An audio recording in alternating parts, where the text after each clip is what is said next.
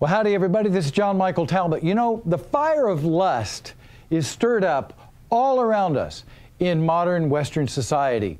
It's hard to get free. We're going to be looking at how to do that. And there's a better way, a better truth, a better life in Christ. See you back here. All things are possible with God.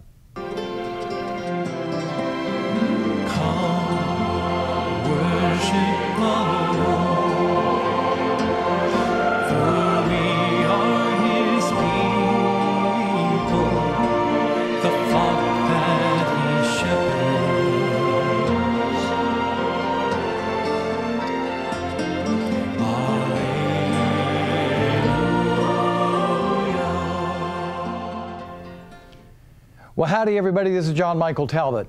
You know, it's hard to stay sexually pure in this society, isn't it?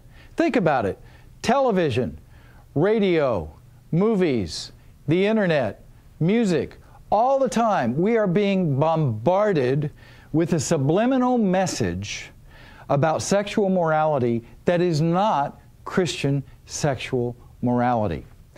And it's so, so and you are what you think. See, if you think it, you're going to do it. Garbage in, garbage out. Unless you are sitting there and you're watching something or hearing something or looking at something and you're going, I don't agree with this, you know, I the shed blood of Jesus protects me from this, it is going to change you. And then pretty soon, we're going to want to try to figure out a way to rationalize that, justify that, argue that, and change what Jesus said to fit what we want. See? So let's take a look at some of this today because we have to be clear. We have to be clear in understanding good Christian sexual morality and fighting the fire of lust.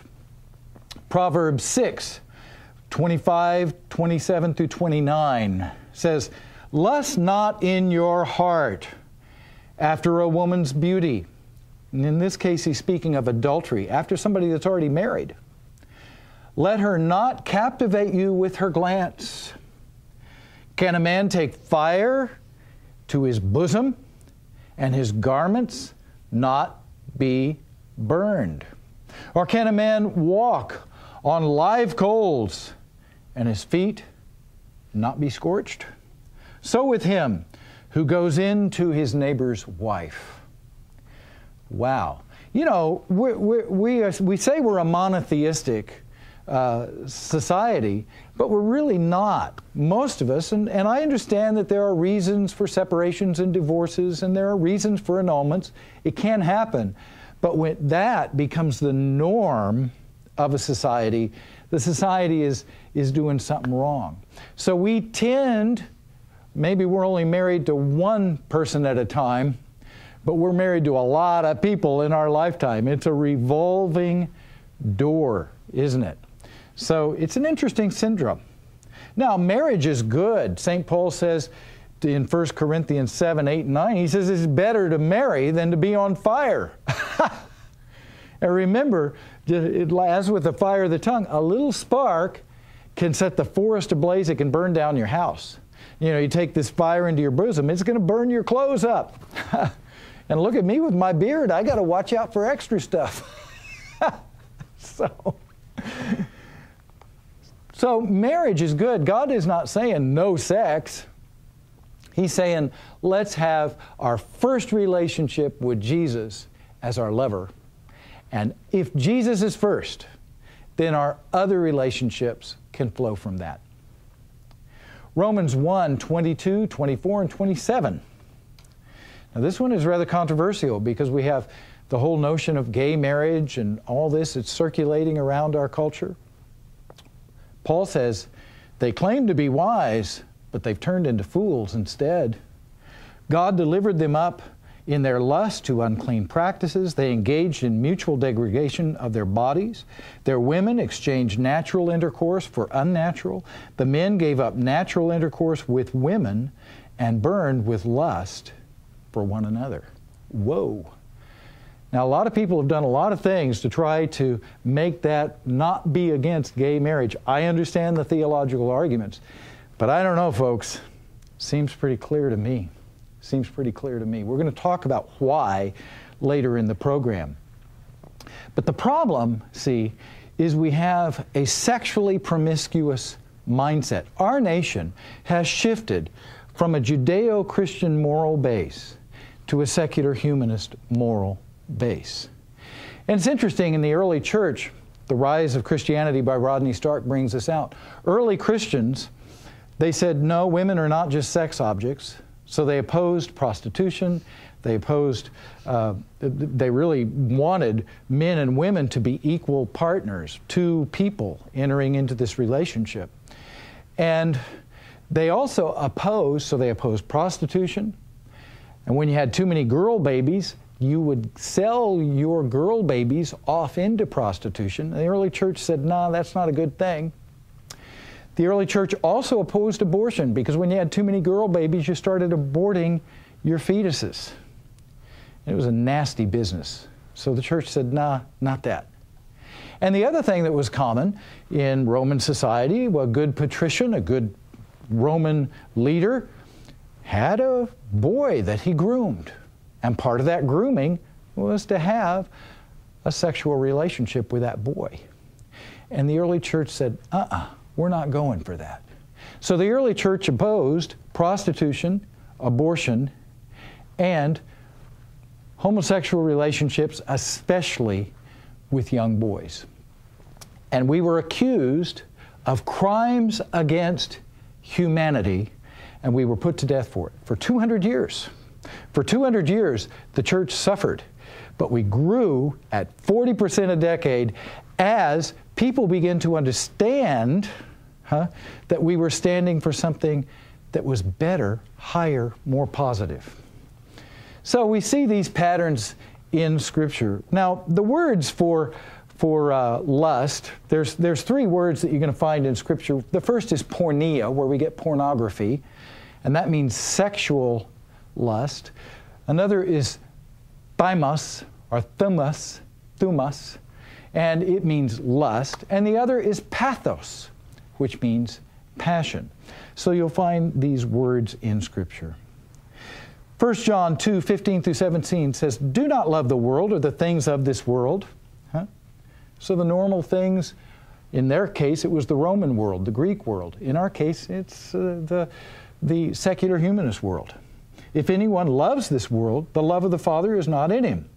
For all that is in the world, sensual lust, enticement of the eyes, pretentious of life, is not from the Father, but from the world. Yet the world is passing away whoever does the will of God remains forever.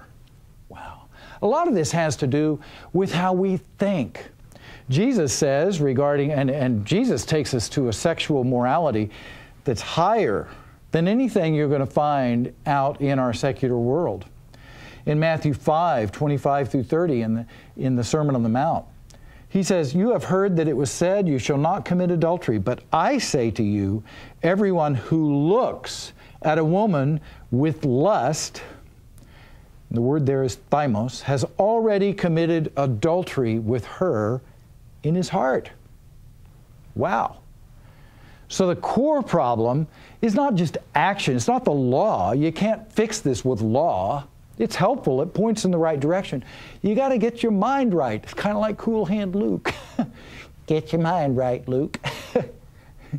you got rabbit in your blood. Well, sometimes we do too. See? In our mind, we're going and allowing ourselves to think these things, and Jesus says that's where it starts. And wherever your treasure is, there will your heart be also. If you make sexual immorality something that is your treasure, it's in your mind I guarantee you, your heart's going to follow, then your body is going to follow, and then you're going to act on it. And that ain't good. How do you fix it? He says, if your right eye causes you to sin, tear it out, throw it away. Well, you know, folks, let's be clear. if you're having trouble listening to music or watching the computer or watching TV, turn it off. Turn it off fill your mind with positive things, and then you will begin to feel. In, you, instead of it being passions, pathos, negative passions. You will begin to be enthusiastic. You will, you will empower positive things with your emotions. You'll start, when you're so excited for God, you don't have any room to be excited for the world. You know, oil and water don't mix. You can't do two things at once. Fill your mind with God, stir up your passions for God, and you're not going to have time to do this other stuff. Part of this is bringing the old self to the cross and letting the old person, the old thought patterns, the old feelings, the old actions, letting them die. Ephesians 4 says, You put all aside, lay, you've laid aside your former way of life, the old self, which deteriorates through illusion, and here we got it desire. Desire. Cravings. And don't be, don't, you know, the devil is a liar, John 8 44. Lying speech is his, is his native tongue. He's a liar and he's the father of lies. He will come and try to get you to go along with this immoral thinking and acting. Don't buy it. For even Satan disguises himself as an angel of light, 2 Corinthians 11 14. Make no mistake about this, St. Paul says to Ephesians. No fornicator, no unclean or lustful person, in effect an idolater, has any inheritance in the kingdom of Christ and of God. Let no one deceive you with worthless arguments. Strong language, isn't it? Strong language.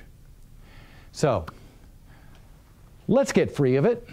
We're going to be coming back, looking at what the church says about this as a teaching and how to get free of turning our negative passions around and being filled with positive passions, the fire of God. Lord Jesus Christ,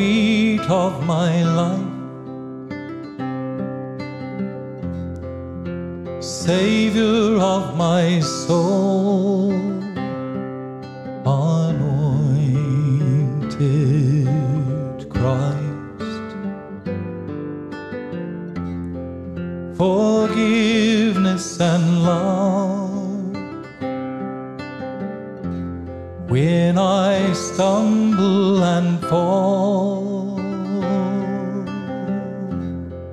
compassion and mercy, have mercy, O God. Well, howdy, everybody. We're talking about the fire of lust and how to overcome it with the fire of God. Now, the Catholic Church gives us some pretty good teachings on sexual ethics. They're time tested, they're well thought out, and basically, there are three things that the Catholic Church would say are necessary. And I think this teaching is really good not only for Catholic Christians, but for all Christians. I think most people kind of agree with it. The first thing is in a relationship with somebody else, you got to have mutual self giving, mutual self emptying. Boy, that's a showstopper right there, isn't it? If you're going to be, if you're going to have a sexual relationship with somebody, it's got to be for them and not for you. It is mutually self emptying, self giving. And what we discover in the paradox of Jesus is that when you lose yourself for His sake, you find out who you really are. So when you give, even though you have no, there's, there's no intention, you're not doing this for the motivation of getting back. You don't give to get. That's not love. You give to give. But what happens is you get back more than you ever gave. The gospel principle is you get back 30, 60, and 100 fold. So mutual self giving. How many of us really enter into sexual relationships with other people for their benefit? How about you guys? How do you feel about that? Men are, men are kind of basic, aren't we? So that's a showstopper. It has to be in the context of marriage, number two, because if you're going to be that self disclosing, if you're going to be, if you're going to open your soul to somebody else, if you're going to be spiritually naked before somebody else, that takes trust. Takes a lot of trust. And the church would say, do that in the context of marriage because you're, a, you're making a commitment. I'm going to be with you for life. I'm making a commitment. I can show you everything about myself, not just physically, spiritually, emotionally, intellectually. That takes trust. So, in the context of marriage. And the third is Trinitarian. Marriage is also a sacrament, a, sacra- a sacred mystery showing and effecting the union between Jesus and the church. So, when two are mutually self giving and totally give themselves to each other for the sake of the other, not for themselves, then at least a third life is created. That's Trinitarian, isn't it? So procreation is possible under normal circumstances. Doesn't mean that couples that can't have children aren't validly married. But it is extraordinary, it is not ordinary. Most people can. So I'm not going to go through the list, but come on, do a little mental, little inventory right there. What do those three things rule out? It rules out quite a bit. The stuff that's controversial. But in the Catholic teaching, it's not about what you can't do, it's about what you can do. See, we want to be positive, not negative. The fire of lust is a negative fire. The fire of God is a positive fire.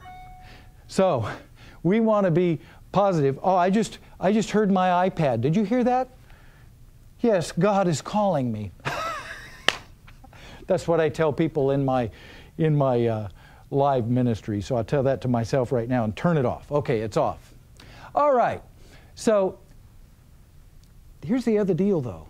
You can't do this just out of law. You got to do it for the Spirit. The law is good. St. Paul tells us that, this, that the law is a, is a tutor, a, a, a see, to get us going in the right direction. So, law is good if it's used rightly.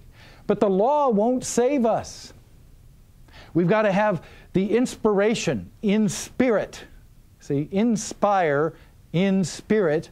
We've got to have the inspiration of the Spirit to motivate us to do the right thing, or doing the right thing when we want to do the wrong thing is miserable.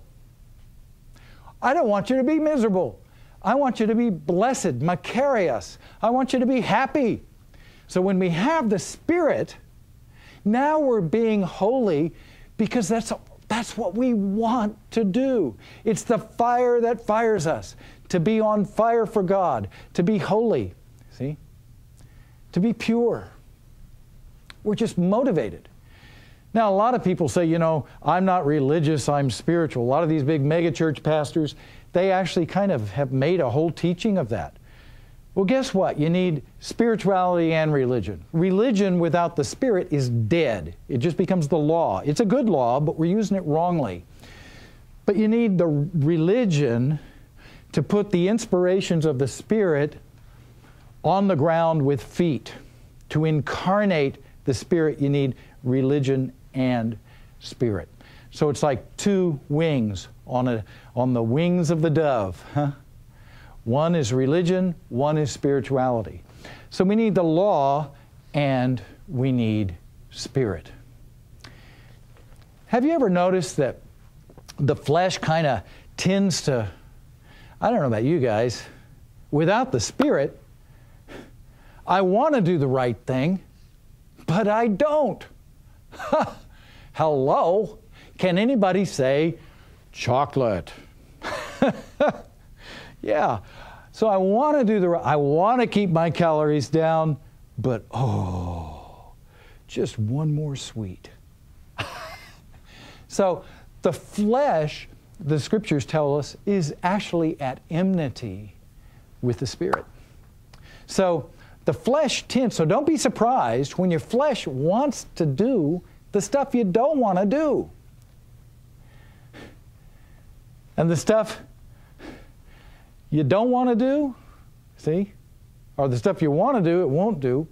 And it keeps doing the stuff you don't want to do. St. Francis called his body brother ass, like a donkey, because it he couldn't get it to stop going, you know, hee haw. It, won't, it just kept going and it won't stop. And you can't get it to go where you want it to go. You need the power of the Spirit in your life. Jesus has got to be your lover, He's got to be your first spouse. And the power of the Spirit is Him within you as the bride of Christ. Now you want to be holy and pure. I just think this is all so cool. I don't know about you guys. So, we got to have the law helps us, teaching helps us, but we got to be inspired by the Spirit. Galatians 5:16.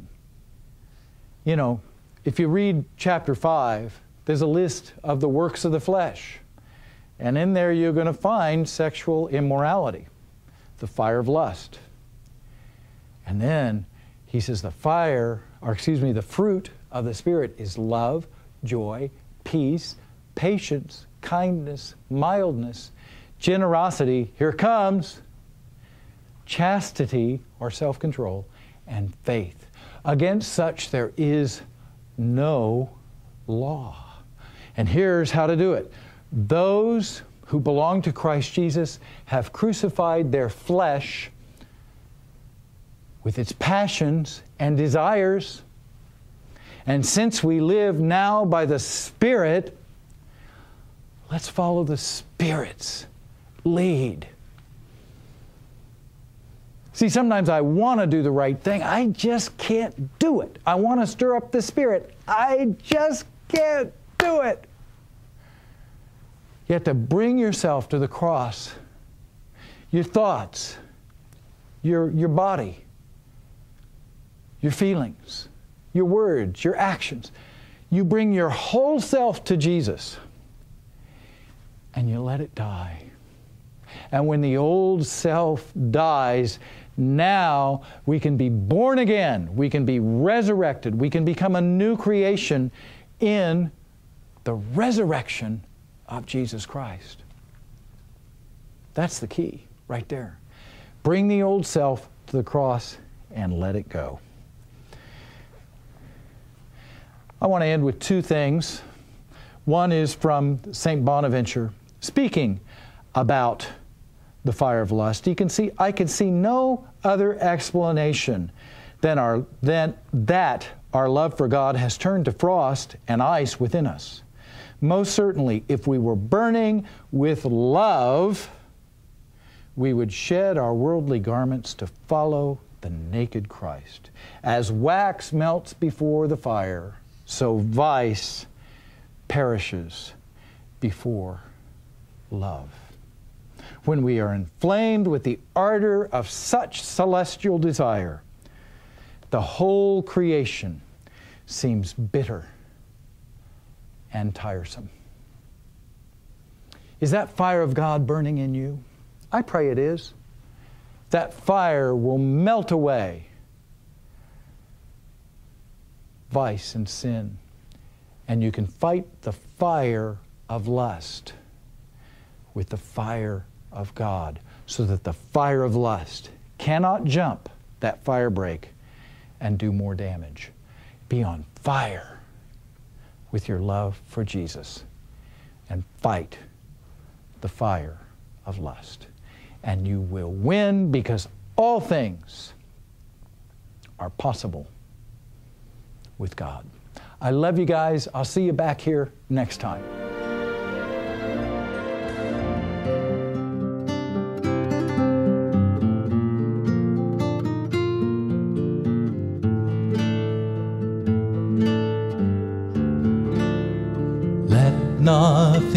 Trouble you. And let nothing frighten you. For everything passes, but God will never change.